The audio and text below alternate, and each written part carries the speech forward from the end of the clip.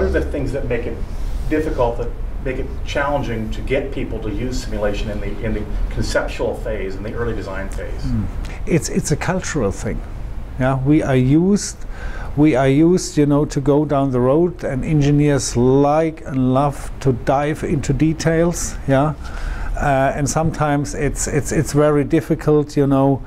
To, to, to look from how shall I say 10,000 feet above you know and look to the complete footprint yeah of, of the solution and I think if we go too early into the details yeah we forget you know to have that overview yeah and then we find out later yeah in the design process there is an error yeah we have thermal problems and then it's hard to go back yeah, uh, in the whole process and to start uh, from the beginning again. Yeah, that's the challenge, and I think it's it's also a question of discipline. Yeah, to do simulation very early. Yeah, and and I think there is also a change caused by by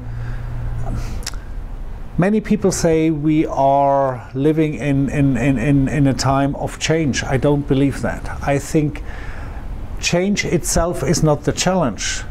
The acceleration of changes, that's the real challenge. Yeah, the wheel is so fast today, so we cannot leverage necessarily on experiences from yesterday. Yeah, because innovation sometimes, you know, uh, goes really in, in, in, in huge steps, and then in a sudden we have no models we can reference to from yesterday. Yeah, and therefore I think we need simulation. Yeah, in order to manage that. Yeah, and then we need simulation very early yeah, in the conceptual phase and not only in the verification phase. Yeah?